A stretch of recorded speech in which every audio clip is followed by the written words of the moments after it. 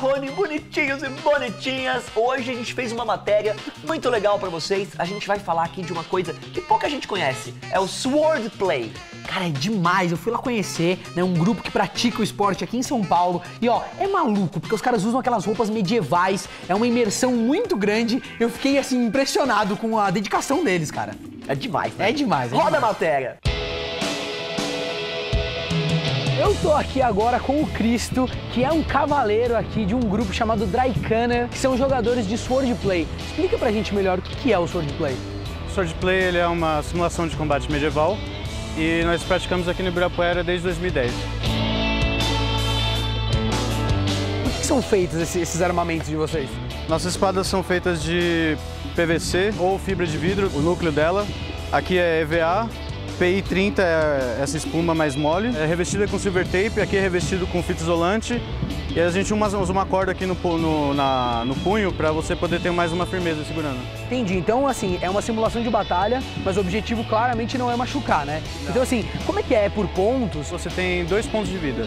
E aí, desses dois pontos de vida, você tem uma área que é crítica, que é o tronco. Se você for acertado no tronco, você morreu, acabou. Se você for acertado numa área de dano, que nem o braço ou a perna, se for no braço, coloca o braço para trás e continua lutando. Se for na perna, você fica parado com uma perna e a outra você pode mexer fazendo um pivô. Se você for acertado braço e perna, você morreu porque dá um total de dois pontos.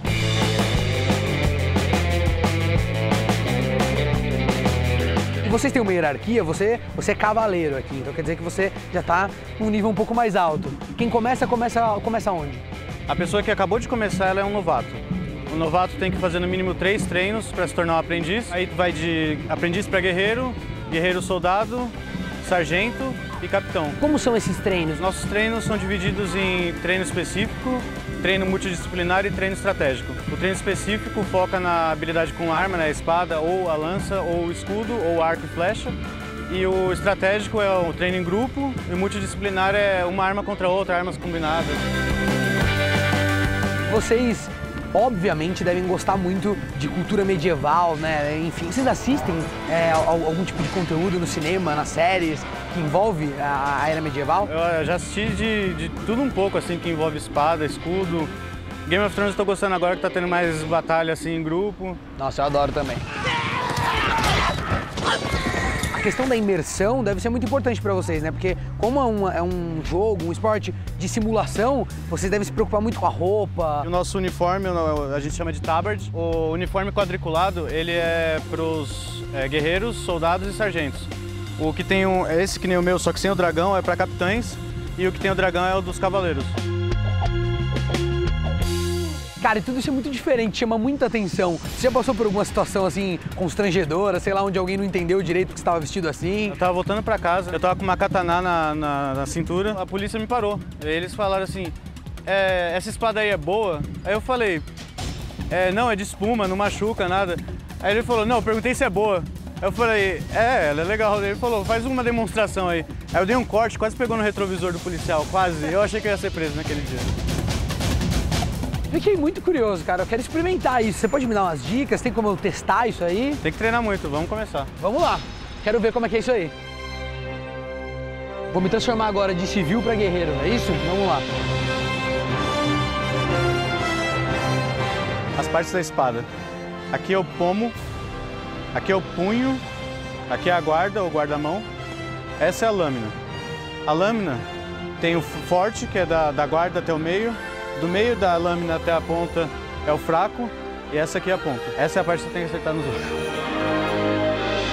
Primeira coisa que você tem que aprender é a base de combate. Você coloca a espada pra frente, o pé da frente fica virado pra frente, Certo. o pé esquerdo fica virado pra esquerda. Certo. Esse aqui é o fendente. Daqui. Corte na diagonal, isso. Entendi. Aí tem o do outro lado também. Dá o corte e volta pra base.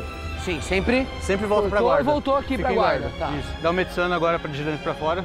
Aqui Volta assim. pra guarda. Soltando, que é subindo. Isso. Agora tem esse aqui também.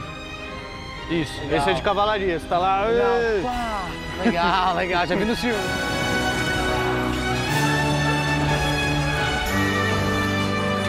Também tem o, a estocada.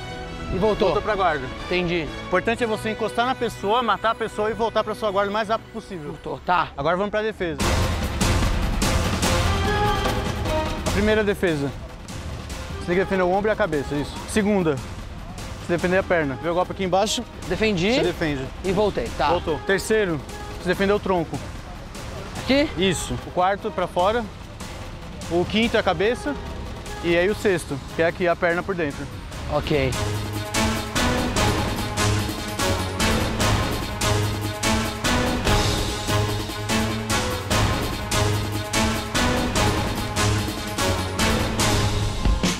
Gente vai continuar treinando aqui. E Rony, da próxima vez eu vou trazer você, hein? Você tome cuidado comigo que agora eu tô treinado.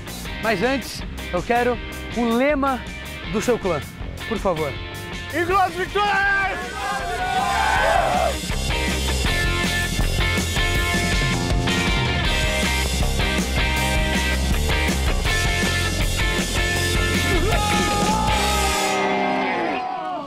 Ó, eu vou dizer uma coisa.